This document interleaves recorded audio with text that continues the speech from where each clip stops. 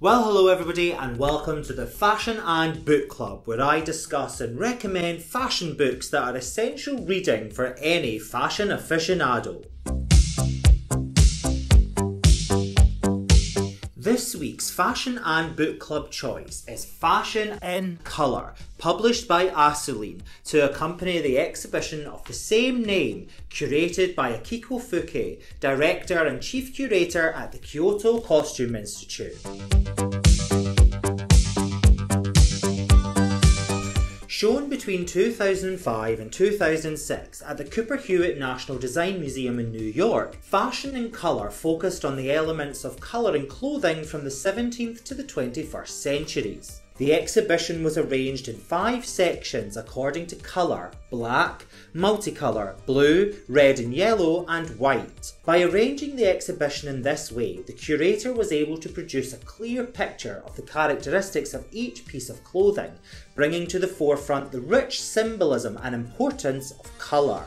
The exhibition's original concept was developed by the innovative Dutch fashion designers Viktor and Rolf and predominantly featured garments from the Kyoto Costume Institute's world class collection. Before coming to New York, the exhibition toured Japan with shows in Kyoto and Tokyo. This publication features original essays which discuss the effects and influences of colour on fashion and society by Japanese and Western fashion scholars.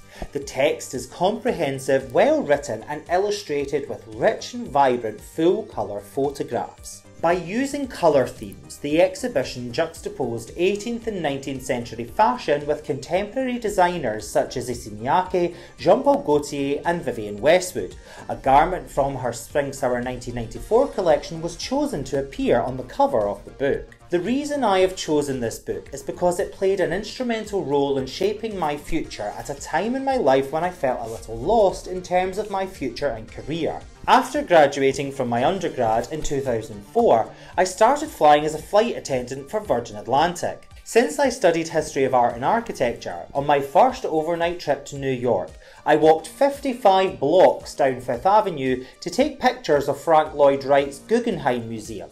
However, when I arrived at the building, it was closed and covered in scaffolding. After feeling a huge sense of disappointment, I looked to the left and saw a poster for this exhibition, and I thought, might as well. As soon as I entered the exhibition, I was mesmerised, and it was at that moment everything became clear. I wanted to be a fashion historian and curator. Fashion in Colour's examination of colour and the history and aesthetics of fashion is both daring and illuminating. This is a fantastic book that not only explores the relationship between colour theory and fashion, but also gives us a glimpse of the amazing collections of Japan's Kyoto Costume Institute.